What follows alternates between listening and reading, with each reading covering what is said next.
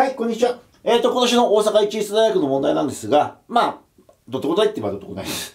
えっ、と、まず n が3以上の奇数で、で、まあ、要するに1から n までの奇数の和ですね。まず SN は。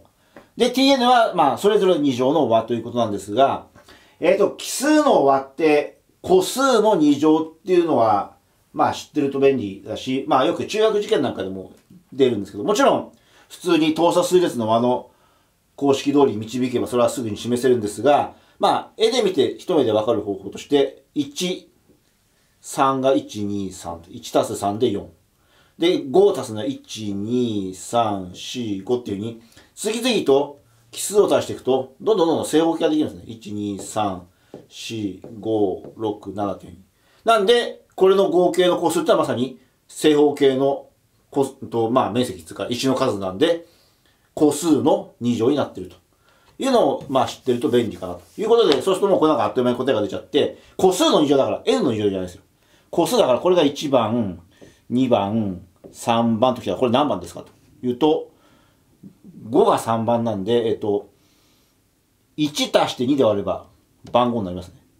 n 足す1割る2すればちょうど番号ですよね。合ってますよね。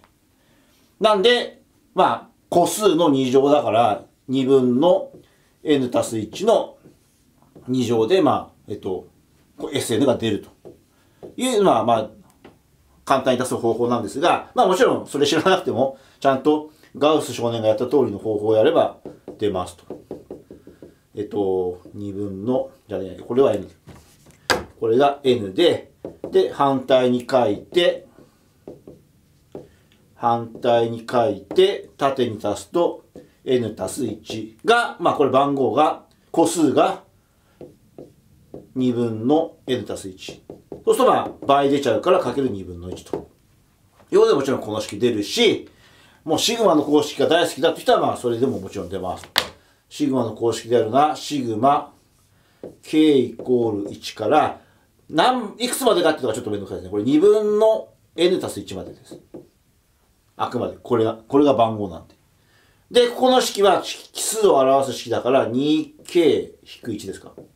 これで1入れたとき1、2を入れれば3って出るんで、まあこれで出す方法ももちろんありますと。そうするとこれだったら、えっと、シグマ k イコール1から2分の n 足す1までの、えっと、2が出て k で引く k イコール1から2分の n 足す1までの1と。まあこれでも出ますもちろん。えっと、2かける、シグマ k の公式は2分の 1n かっこ n 足す1で、この場合の n ってのはこれのことですよね。2分の n 足す1。これが n。普通で言う。で、次がこれ足す1だから、えっと、これ足す1だから2分の n 足す3ですね。これ足す2分の2なんで。引く、これは、この数そのものだから2分の n 足す1。まあ結構めんどくさいですね。まあでもまあそんな大したことない。4分の、で、じゃあ2分のとか。2分の n 足す1、かっこ、2分の n 足す3引く1です。これでちゃんと、まあ、出ますと。まあ、どうやってもいいですと。で、まあ、次ですね、次。えっと、tn。あ、で、まあ、じゃあ1番。えっと、sn は n で割り切れないことを示せと。じゃあ sn がこれで、じゃあこれと n がまあ割り切れないってことは、これとこれ、互いにそうと。で、n が奇数だから当然これ整数になりますと。n が奇数なんで、奇数足す1で偶数だからちゃんと2で割り切れて、それの2乗だからもちろん整数ですと。で、まあ、これが n で割り切れないのは、n 足す1と n が互いに素。隣同士の数、互いに素なんで、隣同士は互いに素だろっていうのは、それはもう、もっと先の話をするときにはもう何気なくスルーして構わないですよ。隣同士の数は互いに素ですと。証明いらないでいいんですけど、まあ、ここでは、えっと、まあ、それを示せという話なんで、まあ、ちゃんと示すならば、この2つの数の最大公約数を g。当然結れば、互いに素っていうのは、えっと、最大公約数が1ということなんで、えっと、g が1であることを示せばいいと。これまあ引き算すれば、1イコール g カッコ a 引く b と。そうすると、えっと、g, a, b, n 全部自然数という設定だったら g は1しかないですねと。ってことは、n たす1と n は互いに素なので、えっ、と、n が3、1だったらもちろん割り切れますけど、3以上なんで、n たす1と n は互いに素。で、n は1じゃないんで、それはもう割り切れません。n たす1と n が互いに素だったらもちろんそれの2乗と n ももちろん互いに素ですと。いうことで割り切れないと。じゃあ次に、えっと、tn、今度は2乗なんで、まあ、これはまあ、シグマの公式使うかなという感じですね。tn は、シグマ k イコール1から、ですから番号が2分の n たす1までとちょっと面倒。で、奇数は 2k-1 の2乗と。じゃあまあ、これはまあ、さすがに公式使った方が楽ですかね。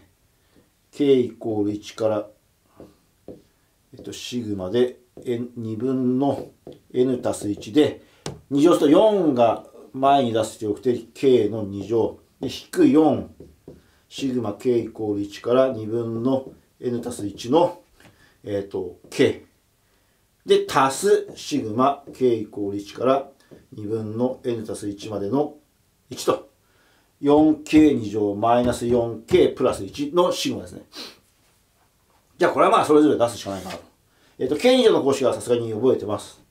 えっと、で、4がついてるから 4×6 分の1。で、まあ気をつけるのが、ここまでなんで、えっと、6分の n かっこ n 足す1かっこ 2n 足す1の、この n に当たる部分が全部これにならなきゃいけないんで、えっと、2分の n 足す1がスタート。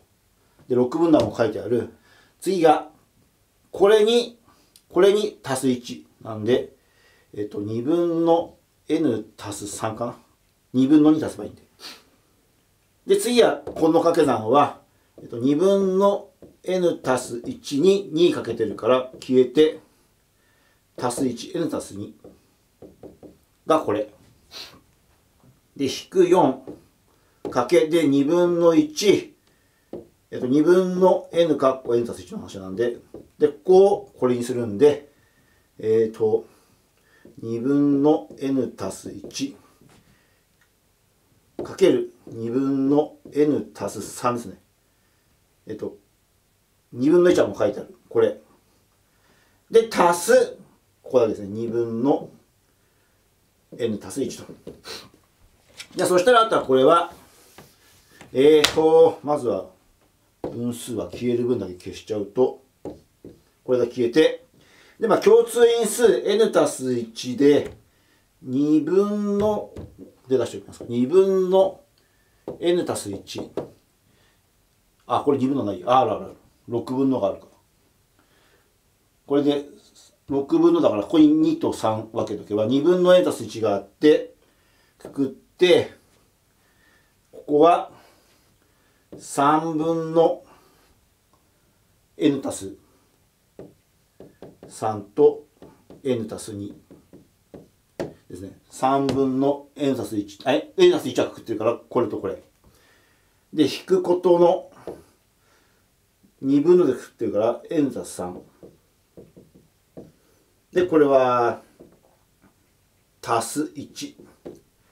その2分の n 足す1、かっこ3分、えっと、これがもう、えっと、マイナス n、マイナス2だから、ここが n たす2。そうすると、n たす2でくくりますか。n たす2でくくって、3分の n たす3と、えっ、ー、と、ただの1だから引く、引く3ですね。そうすると、えっと、6分のこれが消えて n かっこ n たす1 n たす2かな。がまあ tn と。で tn が出ましたと。で tn が出て今聞いてるのは tn が n で割り切れる n の条件と。Tn はえっとこれもちろんえっと6分のになってますが当たり前の話が全部自然数の和なんで自然数になるのはそれは当然これ連続算数なんですね。連続算数の積なんで当然6の倍数ですと。連続算数だから3の階乗の倍数、6の倍数なんで当然整数になりますが、これをじゃあ n で割ったときに、n で割ると、まあ、この n は約分されちゃって、で、もしもこの6が残っちゃったら割り切れないってことですね。なので、この6が残っちゃいけない。残らないような n はっていう話ですね。なんで、n たす1、n たす2が6の倍数ならいいと。6の倍数になるような n が求める条件と。で、まあ、n が奇数だからじゃなくてもいいんですけども、もう連続数。連続数なんで必ずどっちか偶数ですと。まあもちろんこの場合は n が奇数なんで、こっちが偶数ですと。こっちが偶数なんで、もう2の倍数であることはもう絶対大丈夫と。じゃああとは n たす1、n たす2が、もうこれは偶数が分かっているんで3の倍数ならいいと。になるような n が求める n ということで、じゃああとはモッド3。モッド3で考えたときに、n が、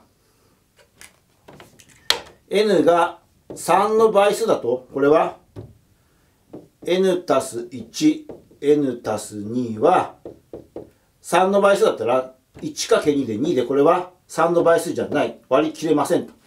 なんで n が3の倍数じゃダメ。